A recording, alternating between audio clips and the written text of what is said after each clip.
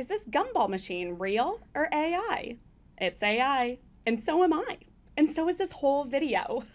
Hi, I'm Mad Sal, your go to resource for all things AI, Photoshop, and just general good life advice. If you got a boo, buy them flowers. That's your free piece for today. Today, I'm gonna show you how I create AI videos of myself. The AI models I am using are Flux 1.0, Mystic 2.5, and Veo 3. I'm using these via freepik.com and Google Flow. If that all sounded like a foreign language to you, don't worry, hang in there. I'm going to explain everything. And, you know, it's mildly beginner friendly. I would say so. If you're a beginner and you try this, let me know if it was friendly. If you're liking these tutorials, subscribe for more so I can keep making them for you. Here is the fast, fast, fast overview of how I do things. In Freepik, I create a custom character of myself by uploading many, many, many photos of me at many angles and many expressions. And I train a model to recognize what Mad Sal looks like. So when I prompt it to create an image and tag Mad Sal, it knows to make the image look like me. This basically trains the AI to recognize what the pixel pattern of Mad Sal looks like and doesn't generate a whole new person. I write a description of the image that I want to generate and then I tag my character so it knows to create that image of Mad.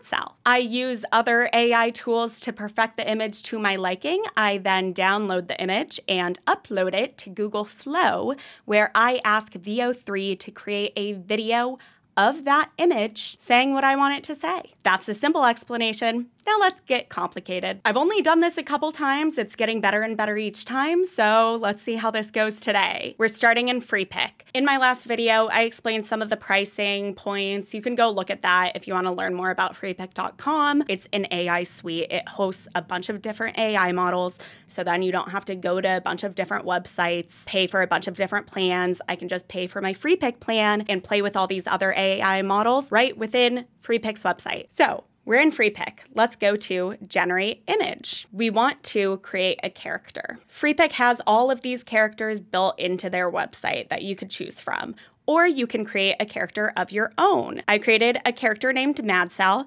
You can see I uploaded many, many images of myself at many different angles with many different expressions. You are providing the AI model with all of these photos, which will serve as stylistic and structural references for the AI to look at when it is generating the new image. All of that becomes character data.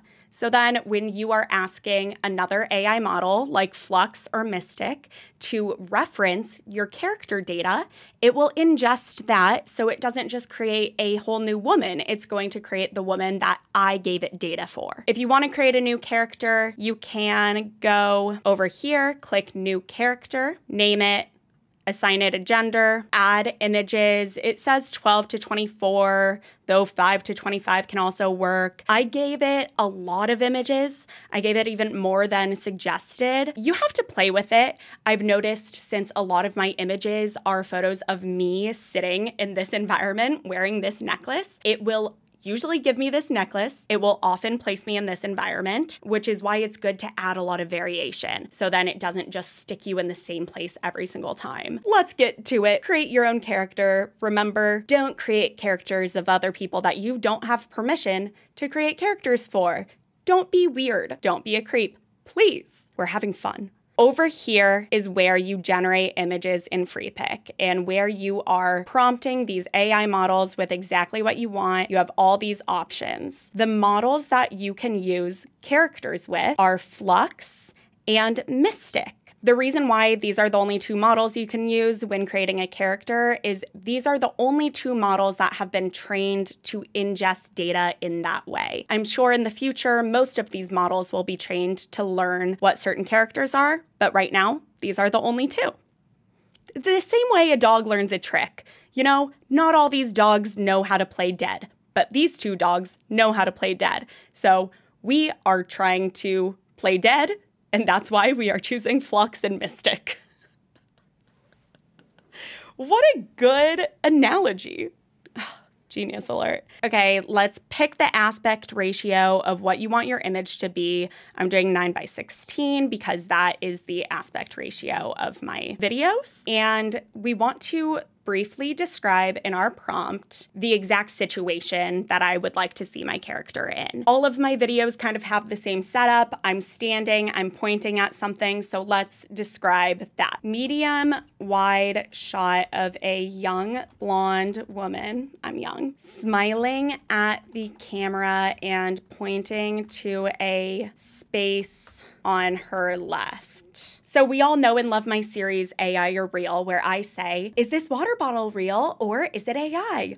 it's AI! And it disappears. So, I want to create an entirely AI version of one of those clips. So I want my AI to say, is this gumball machine real or AI? It's AI. And then the gumball machine will disappear. And then AI, Mad Sal, will say, and I'm AI too. That's my vision. Let's see if we can make it work.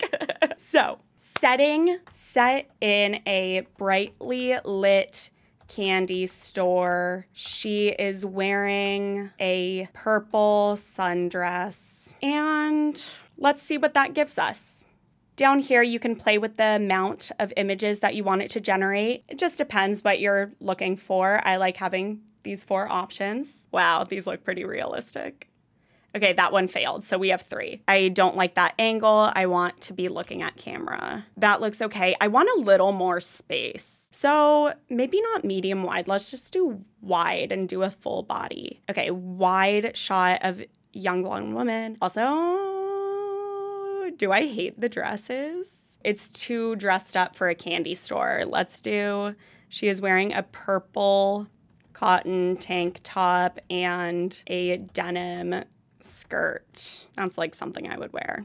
Generate again.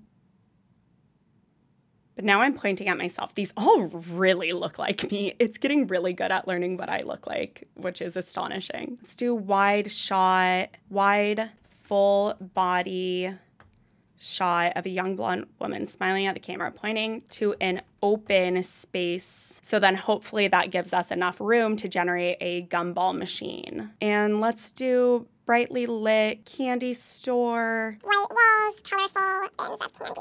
In the background, no additional human figures. The woman is wearing a purple cotton tank top, a denim skirt, and cowboy boots. I'm sticking with Flux right now because it is generating highly accurate photos of me. So I don't want to switch to a different model. Cool. This is more what I'm talking about, baby. That one doesn't look like me. And that's a big old jaw on her. That one doesn't look that much like me either. I spoke too soon. Let's not have her pointing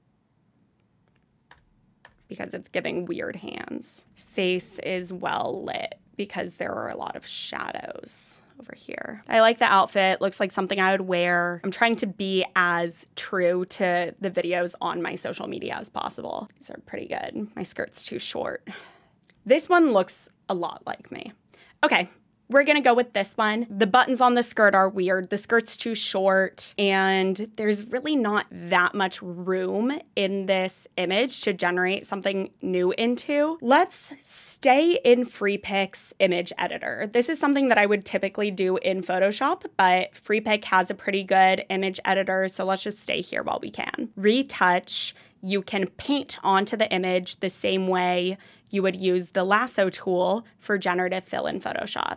So let's see if it'll give me something a little longer. Denim skirt.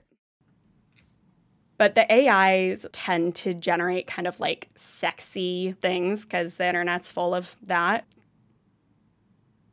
Okay, I think this one, in the end, it's not really gonna matter because I'm gonna put like a whole gumball machine right here. Let's save done. Export, we're gonna download this. If you wanted to, within Freepik, you can go up here and click Reuse Image As, and you can take this image and create a video from it. Some of these AI models have the capability to generate a video from a starting frame, the image that you upload. But none of these video models on Freepik have the ability to generate audio yet. I want my video to talk. Of course, I will be replacing the audio with my own voice, but the reason why I am taking this to Google Flow to use Veo 3 is because since Veo 3 can generate audio, it has very good mouth movement adherence to the words that I ask it to use. In Freepik, these other models don't have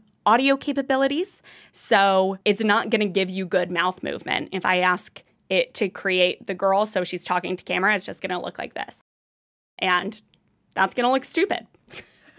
what we're going to do is we're exporting this as a PNG downloading that. Now we are going to Google Flow, labs.google slash flow. This is basically Google's version of Freepik. I don't think it hosts all the other AI models that Freepik does. I believe it only hosts Google's AI models. So Veo 3's image to video model is relatively new. It just released, so right now it's not available on Freepik. It might be available by time I upload this video to YouTube. So take a look if you're able to do image to video with Veo 3 and Freepik. There's no reason to go to Google Flow and create a whole new account and do all of that stuff but right now it's my only option. So we're in Flow. We are going down here, frames to video. It's a very simple interface. So it's simple, it's straightforward. You're not going to get too confused. Plus, upload. That thing we just downloaded. It only does landscape videos, so hopefully it doesn't do anything weird. It just lets those black bars be black bars. We'll work with it. Now, the same way that we created a prompt for the image, we are creating a prompt for the video. We want to be slightly more specific. Static, locked off camera, no camera pans, no camera movement. The smiling woman speaks to the camera. Is this gumball machine real or AI? So, you can go to settings and you can choose the exact model that you want to use. I want Veo 3 fast. Doing a faster generation is going to give you a smaller video size, but we can always upscale it after. Ooh, I'm so excited. Here she is. Is this gumball machine real or AI? It's AI, and so am I. And so is this candy store. Th- this one was really good. oh my gosh. That's crazy. But I want to generate a gumball machine and I'm too close to camera. Okay girl, that is me. And it's a thinner version of me, which is even better. That's pretty much me. That's pretty much me. So we'll go down here, click reuse prompt, delete that first frame because we are uploading a new one. The smiling woman speaks to the camera. Her big smile remains on her face the entire time. She says, Is this gumball machine real or AI? Still smiling big. She pauses for two seconds. It's AI, and so am I. And so is this candy store. Let's do it. This is it. I feel it in my bones. Is this gumball machine real or AI? It's AI, and so am I. And so is this whole video. this oh my god, that was really good. Yes. That was crazy. This is crazy good. The hands look crazy. Is this gumball machine? But the motion is perfect. I'm perfect. This is perfect. Okay, let's upscale this. Download upscaled. Now I'm going to dub over that audio. The bummer is it generated some really cool background sound, um, but there's not a good way to replace the voice yet. Hopefully, eventually, it will create something where I can train it on my voice and I can basically pick Mad Sal for the voice that I want it to generate. But for now, we dub. Is this gumball machine real or AI? It's AI. And so am I. And so is this whole video. Great. I think I can even play with the sharpness on this a little bit and try to fuss with it a bit to try to make the footage look more realistic. But this is what we have, and it's pretty cool. It's pretty cool that we've gotten to this point. I'm not gonna lie, that was not easy to make. It also wasn't the most perfect video, but it was still a fairly convincing video of me speaking. Whether you are pro AI or anti AI, this is something that we all need to be aware of. So send this to someone who needs to learn a thing or two about AI. Remember, various types of deepfakes are illegal in many different locations, and it is important that if you are using AI, use it for good. Use AI for dumb stuff like turning yourself into a mermaid. If you liked this video, give it a thumbs up, subscribe to my channel, comment what other kinds of tutorials you want to see. I'm going to keep playing with this footage and hopefully make it perfect. But I will talk to you next time. Bye.